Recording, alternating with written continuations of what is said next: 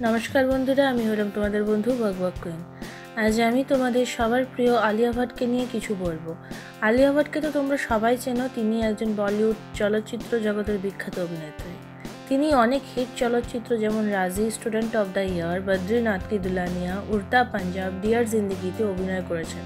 তোমরা তো নিশ্চয়ই সিদ্ধার্থ মালহোত্রাকেও চেনো, যিনি আলিয়ার সাথে অনেক চলচ্চিত্রতে অভিনয় করেন, যেমন স্টুডেন্ট অফ দ্য ইয়ারে। এবং তার সাথে প্রেমের সম্পর্কও ছিল। কিন্তু কোনো কারণে তাদের সম্পর্কটি ভেঙে যায় এবং এই মুহূর্তে আলিয়া জনপ্রিয় অভিনেতা রণবীর কাপুরের সাথে সম্পর্কে আছেন। এই বিষয়টি সোশ্যাল মিডিয়াতে বেশ জনপ্রিয় হয়ে ওঠে। তাদের সম্পর্ক ভেঙে যাওয়ার তারা চুপচাপই ছিলেন কিন্তু করণ জোহারের কফি উইথ করণ শোটিতে আদিত্য রায় কাপুরের সঙ্গে সিদ্ধার্থ মালহোত্রাও যান। সেখানেই তিনি প্রাক্তন প্রেমিকা নিয়ে মুখ খোলেন। চলো বন্ধুরা, তাহলে আমরা জেনে নিই তিনি কফি উইথ করণ শোটিতে কি বলেন। করণ জোহার নিজেই সিদ্ধার্থকে আলিয়ার সঙ্গে তার বিচ্ছেদ নিয়ে প্রশ্ন করেছিলেন। উত্তরে সিদ্ধার্থ বলেন, বিচ্ছেদের পরে আমি আর আলিয়া কখনো আলাদা করে দেখা করিনি।